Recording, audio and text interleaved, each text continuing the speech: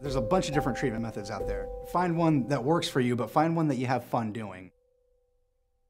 The big thing that attracted me to FOA was that was uh, when I first went to one of their support meetings, I seen people in recovery enjoying it. They were, they were having fun. And I know that sounds kind of cheesy, and, and an addict is going to look at that as kind of a lame, cheesy thing to say, but that's the truth. Once I started having fun, if recovery wasn't fun, I wouldn't do it. The best thing that's happened to me since I got sober pro probably is, I mean, if I had to be real honest about it, would be getting my health back.